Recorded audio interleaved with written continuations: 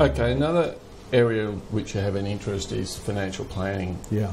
Okay, and, and there's this recommendations from the Senate committee Yep. that appear to water down the regulations introduced by Labor.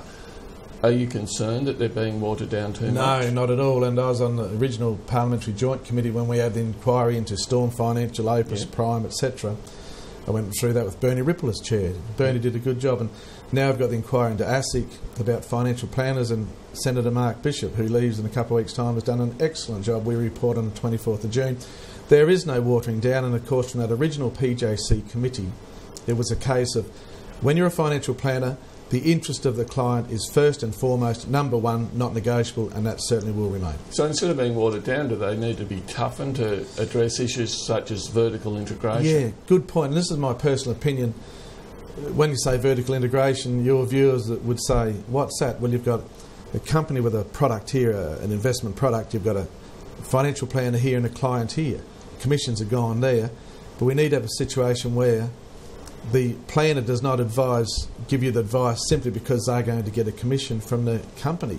This vertical integration, and that's why. So this is this is like an advisor who works under the umbrella of a big bank, Yeah, recommending products. Exactly. About eighty percent are from Yeah. the big banks. So Yeah. very important that it's in the interest of the person because you know one point eight trillion dollars of super, about thirty percent self managed. This is an industry that's bigger than the mining industry and growing at a rapid rate with all the superannuation. So we're very strict on seeing that the client gets the best advice. We've only got one in five Australians seeking financial advice. We need to grow that as well. Terri Butler, do you have concerns about the changes in this area? Absolutely. Um, when I was a lawyer, I had a, a legal duty to act in the best interest of my clients. Financial planners are in a position of, of great trust and responsibility and ought to have the same responsibilities. And we're seeing at the same time as we're seeing concerns about watering down of the obligations of financial planners to act in the best interests of their clients, uh, significant cuts in this budget to ASIC, the regulator.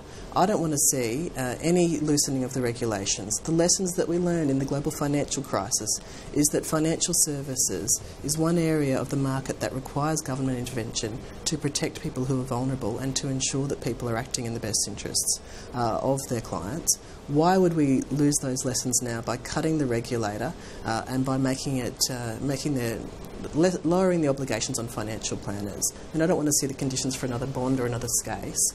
I want to see great rigorous regulation of financial services because people who are not sophisticated investors rely on that advice and they should be able to feel greatly confident that the advisor has a legal obligation to them to act in their best interests.